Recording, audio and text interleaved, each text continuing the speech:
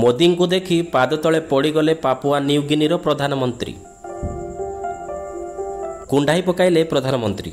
Japan ପରେ Papua New Guinea ଗସ୍ତରେ ପହଞ୍ଚିଛନ୍ତି ଭାରତର ପ୍ରଧାନମନ୍ତ୍ରୀ ନରେନ୍ଦ୍ର ମୋଦି।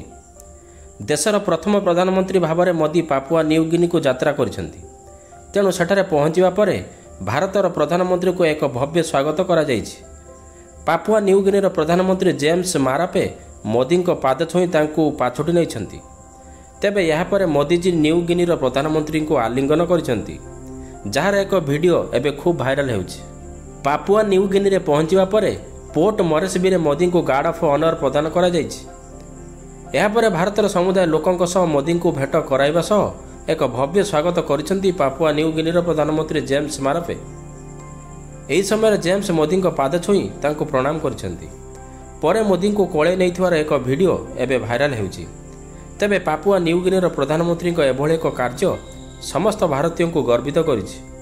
ତେବେ ଏହା ସହିତ ବିଦେଶରେ ମଧ୍ୟ ମୋଦିଙ୍କ ଦବଦବା କେତେ ରହିଛି ତାହା ସ୍ପଷ୍ଟ ରହିଛି। ନିଜର ଶାସନ ଏବଂ ନିଷ୍ପତ୍ତି ଯୋଗୁଁ ପ୍ରଧାନମନ୍ତ୍ରୀ ମୋଦି ସାରା ବିଶ୍ୱରେ ଲୋକପ୍ରିୟ ହୋଇପାରିଛନ୍ତି। ପିଏଡ୍ ମୋଦି ପାପୁଆ ନ୍ୟୁଗିନିର ପ୍ରଧାନମନ୍ତ୍ରୀଙ୍କ ସହ Forum for India Pacific Islands କୋ ଅପରେସନର ତୃତୀୟ ଶିଖର ସମ୍ମେଳନର ସଂଯୁକ୍ତ ଭାବରେ ଆୟୋଜନ କରିବେ।